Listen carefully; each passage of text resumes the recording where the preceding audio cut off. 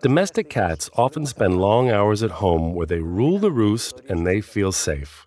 Each time their owner takes them out, in the cat basket, even if it's just a short trip like going to see the vet, for them, it's a whole new adventure. Here are some tips to make your cat's trip to the vet's clinic as nice as possible for you and your cat.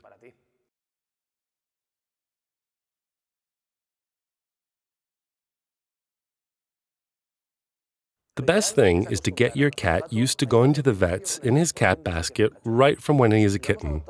If you have adopted or bought your cat when he is already an adult, there are ways to help him get over his fear.